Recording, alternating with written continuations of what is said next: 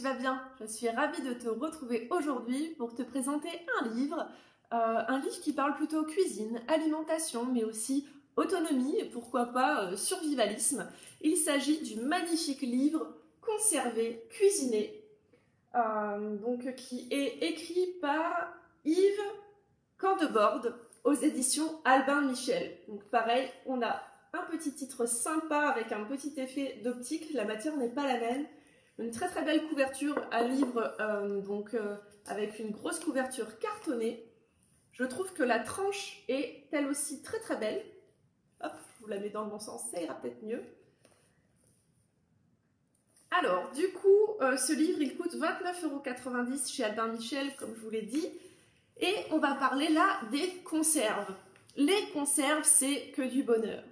Quoi de mieux que de préparer soi-même de délicieuses conserves qui vous accompagneront tout au long de la journée Le chef Yves Candeborde vous livre ses meilleures recettes de bocaux, vous nous en direz des nouvelles.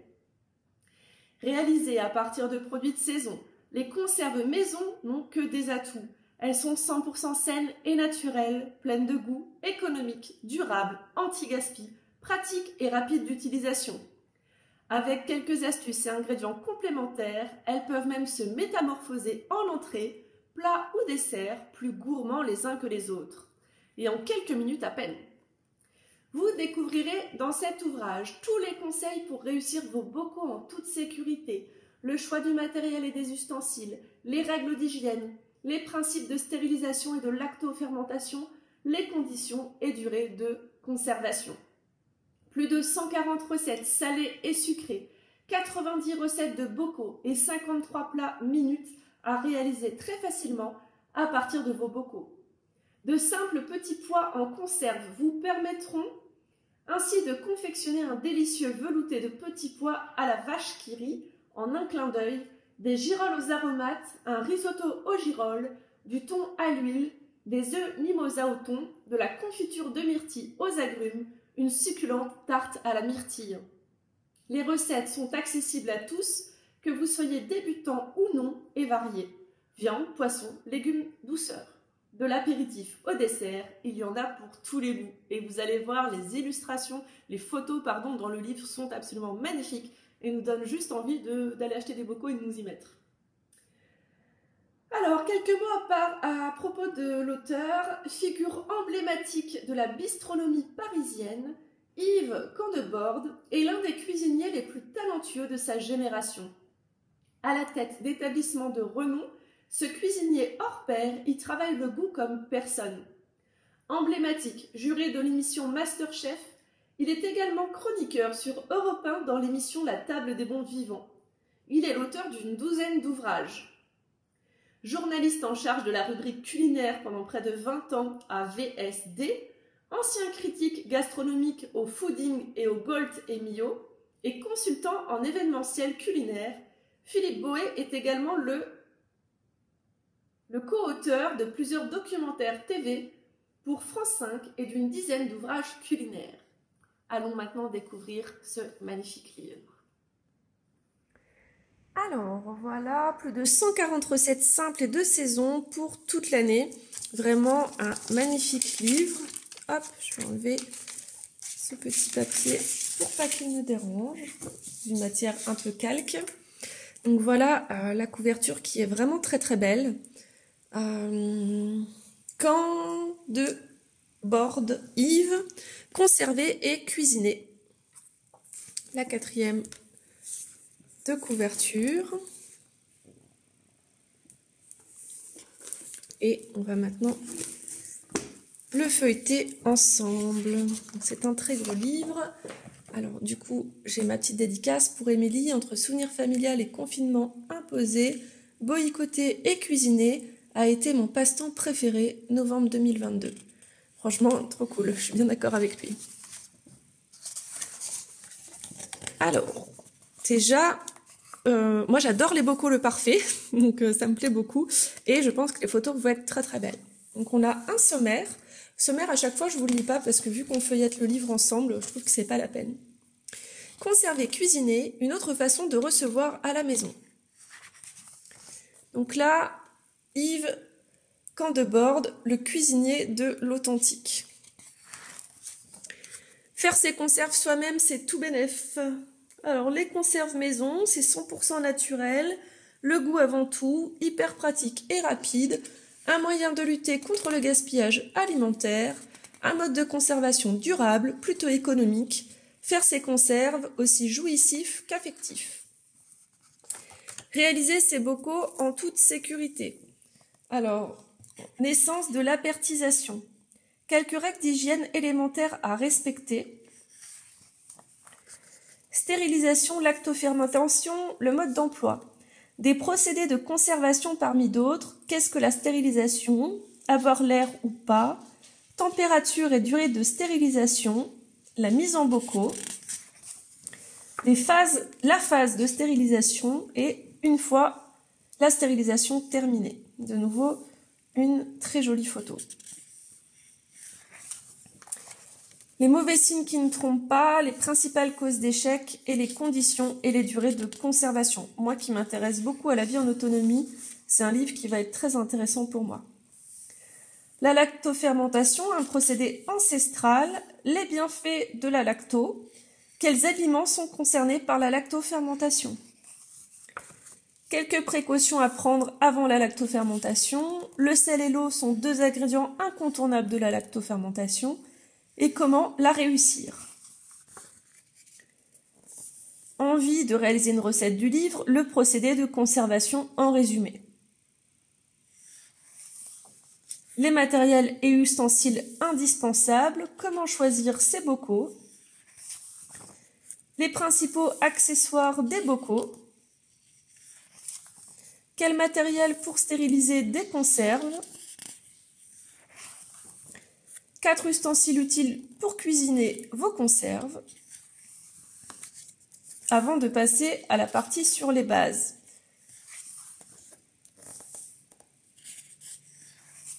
Alors, recette de carottes fermentées, gingembre et citron vert. L'ail en saumure. Oh là là, qu'est-ce qu'elles sont belles les images. L'ail au miel, donc on vous explique comment le conserver, les ingrédients de la conserve, la recette de la conserve, une petite astuce anti-gaspi et une recette à faire avec. Franchement, euh, ça donne trop envie. Il est vraiment vraiment super ce livre. Je suis super contente de l'avoir. Ça, sort un petit peu de ce que je vous présente d'habitude, mais moi c'est toujours dans mes centres d'intérêt. Euh, ben déjà de, de manger euh, sain, et euh, de minimiser euh, finalement euh, la consommation dans les magasins. Savoir faire soi-même, pour moi, c'est vraiment, vraiment quelque chose de très important. Si vous me suivez, si vous me suivez sur Instagram depuis un petit moment, vous savez que, que j'essaye d'être un maximum autonome, bien que je puisse encore faire beaucoup de choses en plus. Mais j'espère me tromper, mais j'ai bien peur qu'on arrive à un moment où on sera obligé de faire nous-mêmes parce que ben, il peut y arriver plein de choses qui fassent qu'on ne puisse plus vivre comme on vit là maintenant. Alors, je ne veux pas être alarmiste ou, complotiste ou je sais pas quoi, mais euh, ben, il peut y arriver vraiment plein de choses. Ouh, rogaille de tomates, petit clin d'œil à la réunion là.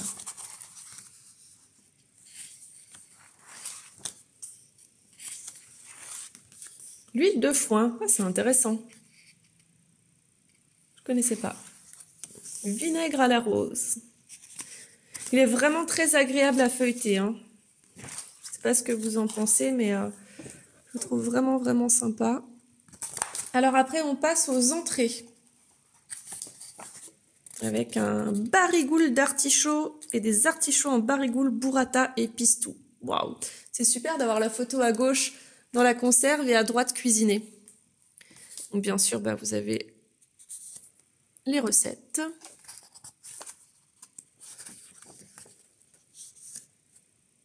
Ouais, moi je trouve ça très inspirant quand il y a les recettes, enfin quand il y a les photos. Bon, celle-là, un peu moins pour moi.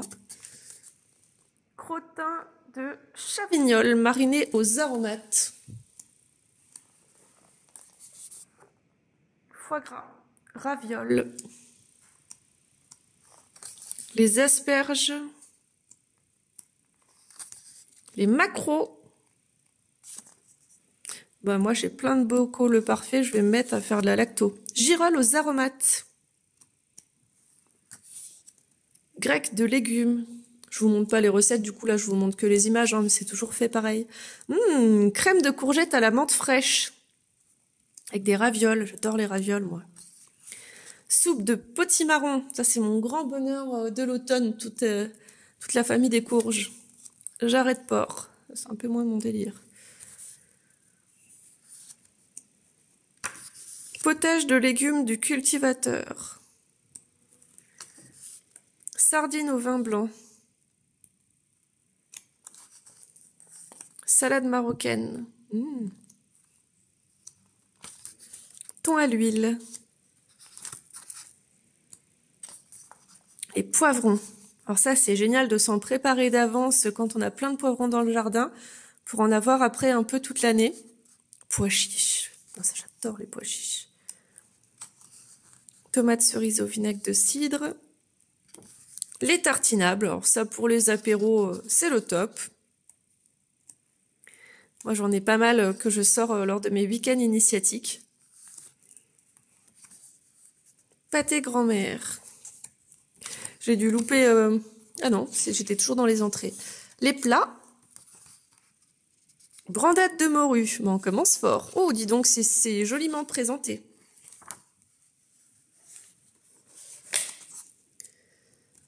Alors, du canard.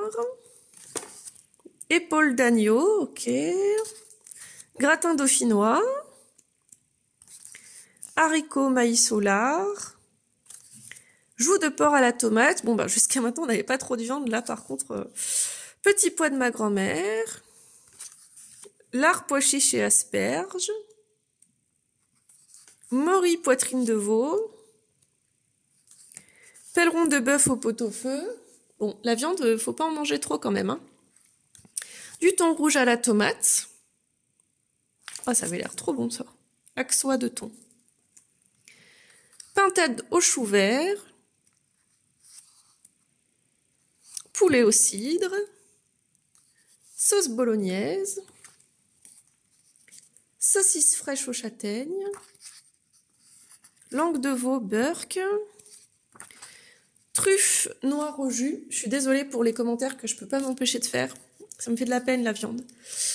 Euh, les gourmandises, ananas vanille les perles du Japon riolées, crème brûlée au citron vert, compote de pêche verveine poivre noir, compote de pommes poire et kiwi, les confitures, plein de recettes, la crème au caramel, les figues, poire verveine, pruneaux, cerises. Vous avez un index, un index des recettes et les remerciements. J'espère vraiment que la vidéo de présentation de ce livre vous a plu. Si c'est le cas, ne partez pas sans laisser un petit like et pourquoi pas un petit commentaire pour me dire ce que vous en avez pensé. Si vous faites déjà des conservations ou des bocaux, euh, je serais vraiment ravie de vous lire et de vous répondre. En attendant de découvrir un autre livre ou un oracle de ma collection, prenez bien soin de vous. Namasté